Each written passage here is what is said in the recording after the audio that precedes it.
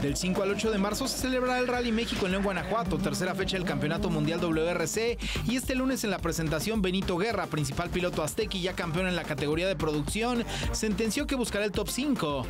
El objetivo claro y real es mejorar lo que se hizo el año pasado, ¿no? El 2013 eh, fue un, octavo lugar, 2014 un sexto y bueno, tenemos que ir mejorar ese sexto a como de lugar este, este año.